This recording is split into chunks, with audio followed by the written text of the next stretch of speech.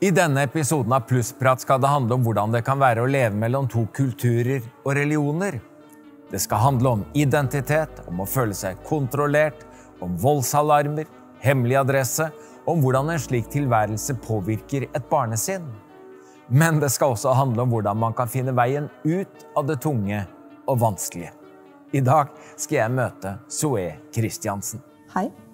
Zoe. Så hyggelig at du kom hit. Det har jeg gleda meg til. Jo, tusen takk. Har du slutta med voldsalarm? Ja. Jeg har det. Hvor lenge brukte du det? Eh, Nesten ti år. Føler du deg trygg? Ja. Jeg gjør det. Hvor lenge siden er det du møtte faren din? Um, jeg arrangerte et møte med han da jeg var 19, for å kunne få snakka litt ordentlig. Men før det så hadde jeg egentlig ikke sett han ordentlig siden jeg var 12. Men eh, møtt på han eh, et par ganger. Zoe Christiansen er 24 år, gift med Simon og bosatt et lite stykke utenfor Oslo. Hun brenner for ungdomsarbeid og misjon, og reiser rundt i hele landet og holder seminarer, taler på ungdomsmøter og gudstjenester. Men sånn har det ikke alltid vært. Gjennom store deler av barne- og ungdomstiden levde hun, moren og de tre søsknene hennes i frykt for hvordan en kontrollerende far ville reagere. For Zoe gikk det så langt at hun vurderte å avslutte livet. Men så kom vendepunktet. Og i dagens Plussprat vil jeg høre mer om hva som skjedde når alt snudde.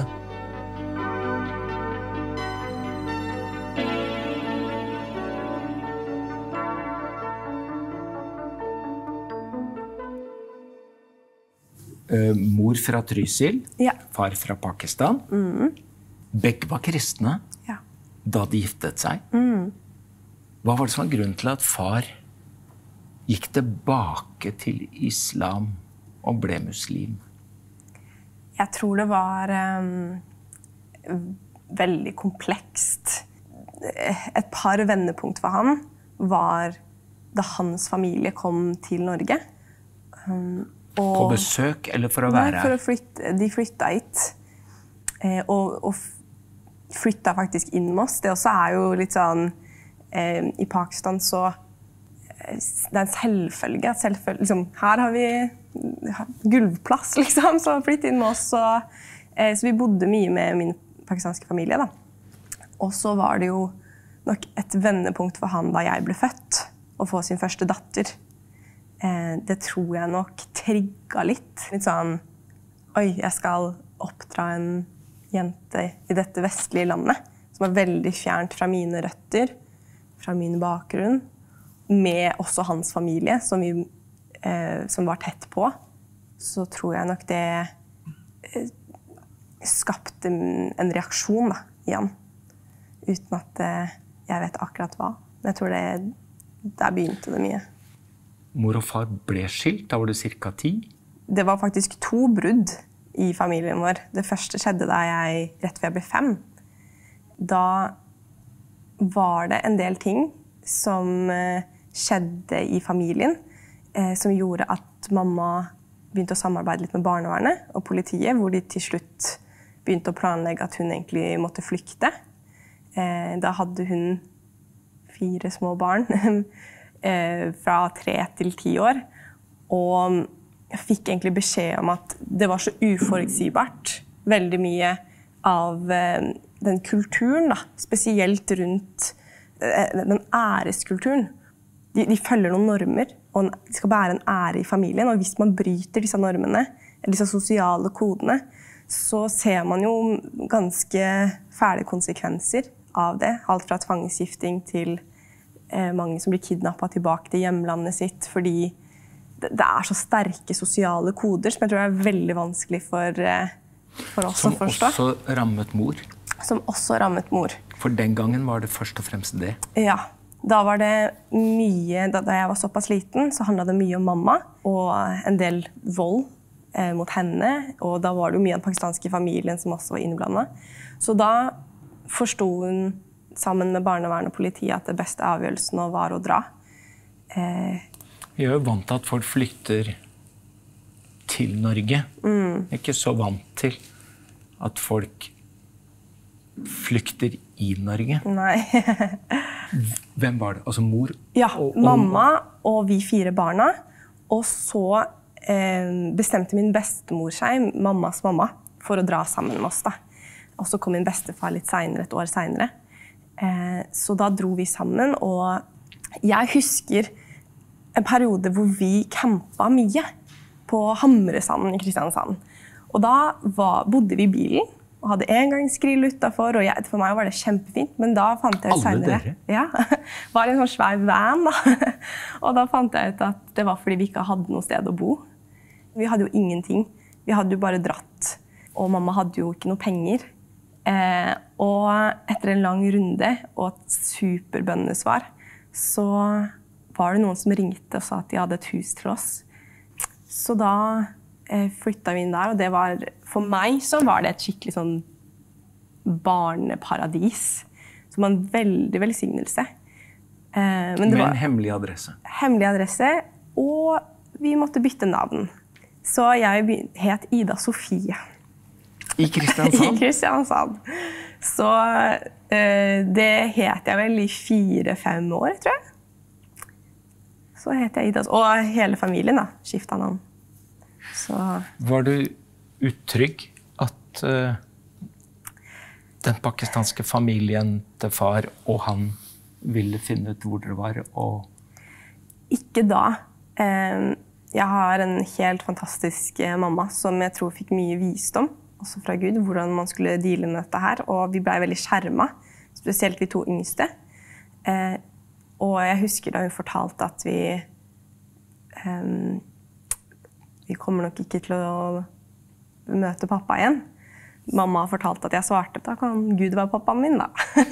Så jeg hadde en veldig sånn Jeg tror jeg jeg var heldig som ble skjerma mye da. Eh, og så var det jo sånn at i denne perioden så tok pappa en del riktige valg eh, i forhold til omvendelse. Og, tilbake til kristen tro igjen? og etter en lang prosess så hadde jo mamma et, en tro på et ekteskap. Og ønska jo virkelig at vi skulle ha en pappa. Og at hun egentlig har fortalt at hun syntes det var vanskelig å slippe på den kristne versjonen av han. Da. Og det, gjorde jo at de fant sammen igjen. Eh, så da var jeg kanskje ni. Åtte-ni år. Så jeg husker at det var fint. Jeg har jo gode minner, også fra pappa og fra den tiden. Eh, det som det som begynte å skje, var jo at ting begynte å skli tilbake i gamle spor. Og at man etter hvert fant ut at ting ikke hadde vært så genuint da, som det kanskje så ut til. Og, og da begynte, for meg, som var kanskje de verste årene um, da, da var jeg ti, begynte å bli eldre også i min fars øyne. Og i mye av hans kanskje frykt og skuffelse og masse følelser. Det slo seg også ut i mye kontroll rundt mitt liv. Og en del trusler eh, rundt mitt liv som ble gitt mye til mamma. Og faktisk til mine eldste brødre òg. Så det var en, en veldig intens tid hvor vi også havna under fattigdomsgrensa. Hvor vi prøvde å finne ut av eller mamma prøvde å finne ut av hva vi skulle gjøre. Finne ut av hva er sant, hva er ikke sant. Holde oppe tro i dette her. holde oppe liksom, hva, hva gjør man? Um, men igjen så hadde vi et fantastisk barnevern og politi som fikk, mamma fikk samarbeida med. Og hvor de fant ut at nå, nå gjør vi det ordentlig slutt. Da Da hadde vi tatt tilbake de, gamle, de originale navnene våre, Soe, og da bestemte vi oss for å bli eh, ikke dra på flukt igjen. Eh, men det krevde jo en del Da blei det jo liksom en del rettssaker. Eh, noen utrolig intense, vonde rettssaker eh, hvor pappa til slutt mista foreldrerettene. Eh, og fikk besøksforbud. Og jeg og mamma fikk voldsalarm. Eh, så da da begynte en litt sånn annen hverdag. Og her har du også levd ikke bare mellom to kulturer, mm. mellom to religioner, tradisjoner. Mm. Eh, som egentlig kan være ganske fascinerende når det bare utvider perspektivene. Mm. Men eh, det slo ikke veldig positivt ut på deg. Nei. For du, du har behov for å melde deg, liksom. Mm. Finne identiteten din. Mm. Visste du hvem du var? jeg tror nok jeg syns det var veldig vanskelig. Um, fordi jeg hadde jo troen på Gud. Uh, men, men når du også har en far da, som, hvor du ikke får kanskje den ubetinga gode bekreftelsen som du ønsker, og du opplever at, at jeg skulle passe inn i en boks og inn i et system og inn i en norm og et bilde som jeg ikke ønska selv, så eh, det, det dukka opp mye sinne i meg, og jeg merka at jeg jo mer jeg ble kontrollert, og jeg så at f.eks. min lillebror ikke ble det, så skapte det også en identitetskrise. Hvorfor blir jeg det, og ikke brødrene mine? Hvorfor blir jeg styrt i forhold til hva jeg skal ha på meg, hvem jeg får lov til å være med, hva jeg får lov til å gjøre og ikke gjøre? Jeg ønska ikke å ha noe kontakt med den pakistanske siden lenger. Jeg fikk det valget. Men da ble jeg liksom stående litt sånn tom, opplevde jeg. At eh, mamma, som har vært i alarmberedskap i så mange år, og hvor helsa hennes og kroppen egentlig streika. Eh, da mye av det intense var over, da, jeg skulle begynne på ungdomsskolen, så, så opplevde jeg meg nok veldig aleine i det å finne ut av hvem jeg var og hva jeg skulle gjøre. Og, og så hadde jeg um, Jeg hadde gode opplevelser med Gud, men jeg hadde ikke noen særlig gode opplevelser med kirke. Og det var nok fordi jeg når, når, du har en så annerledes bakgrunn, da, og historie, og så skal du liksom prøve å passe inn i noe som jeg opplevde var veldig A4. Det var utrolig rart for meg når jeg visste hva som foregikk hjemme, og plutselig skal du liksom prate om ting som, med folk på din egen alder som har et helt annet liv enn det du har. Det gjorde nok veldig vondt for meg. Så jeg kom tidlig inn i både festing og en del liksom, tidlig drikkekultur, og det som kanskje slo mest inn, og som påvirka meg mest negativt, var jo bekreftelse fra gutter. Eh, som også gjorde meg veldig sårbar for eh, utnyttelse, da. Mye vondt som skjedde i ganske sårbare år, som gjorde at eh, da jeg skulle konfirmere meg, så følte jeg at da hadde jeg et bein så dypt inn i en en helt annen verden enn det Jeg, jeg følte skamma meg mye, da. Så jeg tok nok på meg en, en maske i, under konfirmasjonstiden. Som ja ikke var så lett å ta av seg. Fin på utsida, vakker, men uh, veldig dårlig på innsida. Mm. Uh, du vurderte å ta ditt eget liv på alvor? Mm jeg hadde et håp. Um, men jeg visste ikke helt Det håpet var så abstrakt at jeg klarte liksom ikke å skjønne hvordan jeg skal gå til Jesus eller hvordan jeg skal gå til Gud. Og jeg eh, ville ikke være en byrde for de rundt meg eller for mamma. Så jeg holdt mye inni meg, og da fikk det råtne. Mye av disse tankene og mye av eh, ja, så jeg gikk egentlig inn i en ganske dyp depresjon da jeg var 15-16 år. Som jeg sleit med å komme Oppdaga de det på skolen? Eh, ja, det... Fikk du noe hjelp der? Nei. Eh, jeg fikk lite hjelp, og jeg tror nok det var det som også gjorde det utrolig vanskelig. At jeg følte meg veldig forlatt av, eh, av mange. Men det som jeg tror gjorde at jeg ikke klarte å gjennomføre det, var at jeg jeg klarte ikke å gjøre det mot mamma eh, og gi henne enda, ja, enda en byrde. Og så um, hadde jeg jo tro på at Jesus kan gjøre noe for meg òg. så jeg strakk, sa ifra til en på skolen som skjønte heldigvis alvoret. Som fikk ringt mamma. Mamma kom med en gang. og fikk en fantastisk psykolog som var kristen, og det var veldig mye bønnesvar der. Men midt i dette her så var det nok noe mye mamma sin tro, som også så at her er det noe Jesus også kan sette datteren min fri fra. da. Så hun, hun ringte en venninne Ja eh, eh, hvor de sammen kjørte meg til Kristiansand. Eh, hvor det var en annen venninne som holdt på med sjelesorg. Eh, jeg kom inn til henne, og mm, hvor hun egentlig bare skulle be for meg, prate med meg.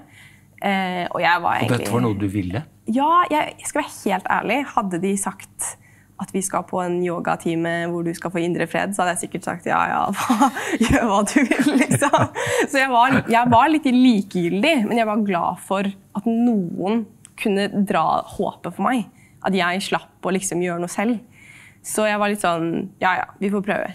Og så um, begynner hun å be for meg, og så eh, har jeg egentlig bare masse tanker i hodet, og jeg sitter litt sånn og bare stirrer ut i lufta. Og så er det sånn at tankene stilner helt, og så dukker det opp et bilde i hodet mitt eh, av mamma på fødestua og føde meg, og da visste de jo ikke hvilket kjønn jeg var. Så legene tar meg opp og sier liksom, 'Å, se, det er en jente'. Men i dette synet istedenfor at pappa liksom ble glad og spudrende, liksom, så kom det et veldig mørke over han. Med skuffelse eller redsel, bekymring, frykt.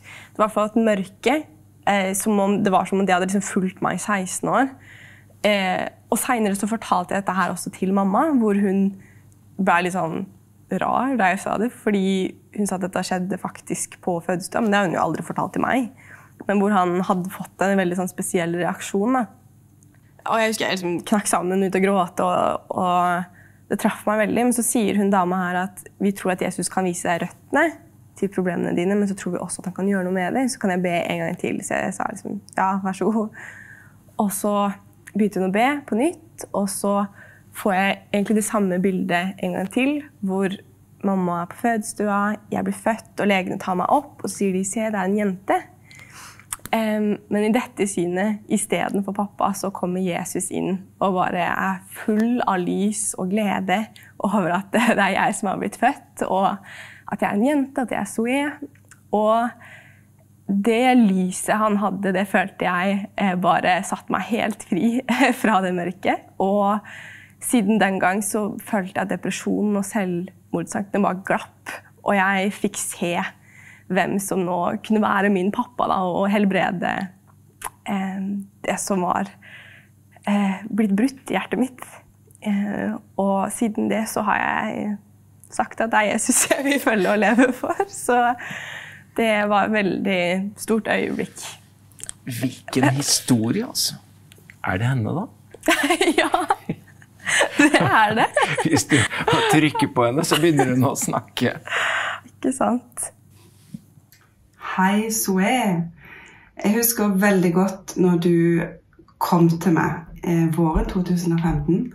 Hadde kjørt flere timer sammen med din mor og eh, en venn av familien for å få en samtale. Jeg skal innrømme at jeg husker at jeg var litt svett, siden dere hadde kjørt flere timer. Og må si at det rørte hjertet mitt skikkelig når jeg så hvor langt nede du var den våren. Eh, Du var et skikkelig mørkt sted og trengte hjelp. Og så eh, var det helt nydelig å få lov til å ta den eh, korte reisen sammen med deg den ettermiddagen, hvor du møtte skikkelig Jesus i et, eh, et veldig vondt og hardt sted. Og jeg visste at nå skjedde det et mirakel i livet til Zoe. Og det kommer til å bli et kjempevendepunkt i livet ditt. Eh, så er det bare helt nydelig å se at, eh, at du er et helt annet sted. Eh, når du nå reiser rundt, eh, ikke bare i Norge, men uten også, utenfor Norges grenser også, og er så frimodig og fri og trygg og forteller om Jesus og hva han har gjort i livet ditt, og er en nydelig utgave av deg sjøl. Så jeg ønsker deg bare Guds rike velsignelse videre over det som er kallet ditt, og over alt det, den du er, og hvor du, hvor du skal gå, og hvor du skal virke. Så lykke til videre. Jeg ble helt svett. ah, det var utrolig fint. Vi har snakka faktisk ganske lite. Dere har det? Ja, og jeg har jo bodd i forskjellige byer, så det Men rett og slett At det skjedde noe så grunnleggende med deg. Hva slags ord setter du på det? Hva var det liksom Hva var annerledes? For meg så ble det en åpenbaring om hva livet handla om. Hvem Jesus var. Hvem jeg var i, i Jesus. Det var som en tåke som letta. Og det, det gjorde jo at jeg også med Guds velsignelse klarte å ta en del eh, kloke valg. Eh, og som gjorde at jeg fikk en sånn livsbøyle, et grunnlag å stå på, som jeg kanskje ikke hadde hatt helt før. Så det var jo ikke bare lette år etter det, men jeg vingla ikke i troa mi eller i, i, hvilken retning jeg skulle gå. Selv om jeg vingla litt på veien, og så ga det meg en retning og en mening med livet mitt. Jesus ble kallet mitt. Det var liksom han jeg ville leve med, sammen med hvordan livet så ut. Og så visste jeg at jeg skulle leve, da. Så det Det ble en stor forandring i forhold til ungdomsskoleårene, hvor jeg ikke hadde det. Det var ikke opplagt at den jenta som var på det mørke stedet At du skulle bli misjonær, evangelist, utsendt fra tronsbevis i Saransdal. Jeg har gått gjennom noen runder hvor Gud egentlig har tatt litt tak i meg. Hvor jeg må sette meg ned med historien min igjen og forstå at det er meg. Det, det har skjedd med meg. Fordi det er nesten så jeg forteller historien om en annen jente. Fordi det er så Jeg lever et så utrolig rikt og godt liv at jeg sliter nesten med å huske hvordan det faktisk har vært. Og forstå hva Jesus faktisk At det var et vendepunkt. Jeg tror ikke at jeg har vært her i dag både fysisk, men også der hvor jeg er i livet. Uten en overnaturlig inngripen. Så det, jeg syns det, det, er rart. Det er jo det. Ja, du, det er allikevel ikke helt uten fare mor sendte en tekstmelding mm. Som melder mm. at far har skrevet Hvis du noen gang står på en scene, mm. så skal vi rive deg ned. Mm. Uansett hvor mange som ser på. Mm. Tenker du på det hver gang du går på en scene? Nei.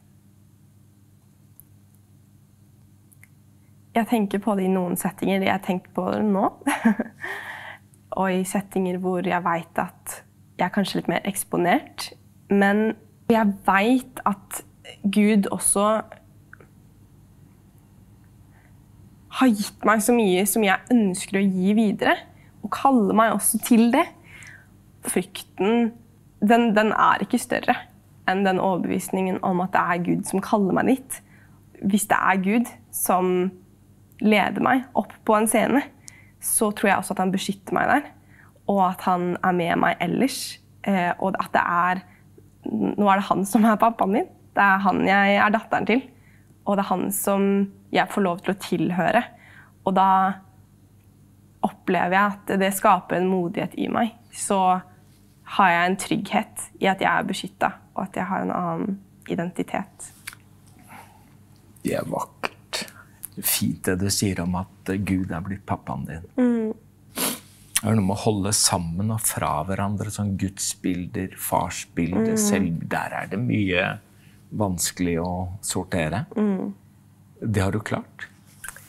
Ja, det har jeg stussa litt på selv. Um, men jeg tror det er de, de frøene da, fra barndom, fra barneleirer, når vi blei forsørga i flukt, og at mamma var veldig sånn at det er Gud som passer på oss nå, det er han som er med oss. Og, altså jeg hadde et godt bilde av Gud.